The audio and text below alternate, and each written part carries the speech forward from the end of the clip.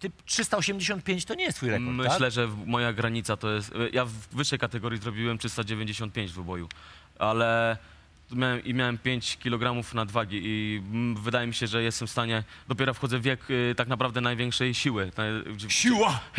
ciężarowcy, cię, ciężarowcy y, dopiero y, zaczynają taką siłę, mają siłę wieku w, od 23 do 27-28 lat. Aha. Także, przepraszam, moje, moje wyniki mogą być dużo wyższe. Y, chciałbym oscylować w granicach 400 kg w wyboju. To, To jest a do, do jakiego wieku mniej więcej jest to taki... zależy od zdrowia.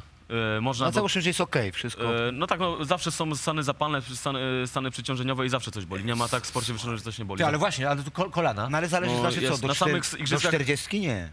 Nie, no, chciałbym do 30, 30 30, 35 lat. To zależy Czyli od dwie zdrowia. olimpiady jeszcze. Tak, Czyli. Rio masz złoto, obiecujesz? Czy obiecuję? Jeśli będzie zdrowie, zrobię, zrobię wszystko, żeby tak było. O. No to pamiętaj, żebyś nie szedł do McDonalda wcześniej. No.